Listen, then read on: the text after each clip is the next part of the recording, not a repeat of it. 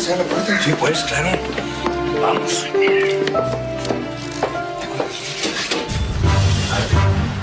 Sofía, ¿qué haces aquí?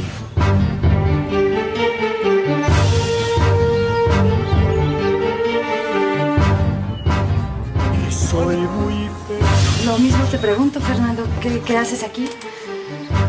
Como gente educada que soy, vine a agradecerle a Juan que te haya salvado. Pues yo vine exactamente a lo mismo. Porque le debo la vida a Juan. Gracias por haber salvado a mi esposa. Quedo en deuda con usted. No. No tiene nada que agradecer. Bueno, bueno. No me debe nada. Sofía, hija, será mejor que nos vayamos de una vez al convento. No se moleste, padre. Yo llevo a mi esposa. Te lo agradezco, Fernando, pero yo prefiero irme con el padre. Eh, Él y yo tenemos muchas cosas de qué hablar. Perdonen, perdonen que meta mi cuchara, ¿eh? Pero los del mercado y yo le andamos organizando una party aquí a mi Johnny, una fiesta. Pues por su regreso con bien.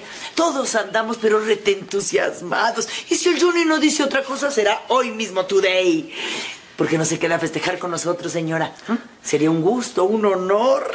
Gracias por su invitación, Quintina. El honor será mío. ¿Usted qué dice, padre?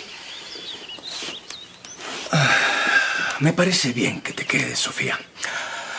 A fin de cuentas, también estamos celebrando tu regreso. Por fortuna, los cobardes que te atacaron, y gracias a Dios nuestro Señor, no lograron hacerte ningún mal. Solo, hija, que te quedarás en la iglesia. Ahí platicaremos. Como usted diga, padre. Eh, Sin que me hayan dicho, me doy por invitado. ¿Tiene usted alguna objeción? Ay, yo ninguna, no problem, no problem. Eres mi esposa. Y a nadie más que a mí le da gusto que hayas aparecido con bien.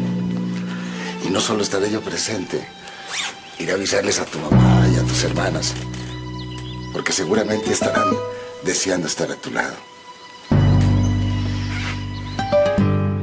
Vale más un buen amor que mil costales de oro. Vale más un buen amor, por eso eres mi tesoro.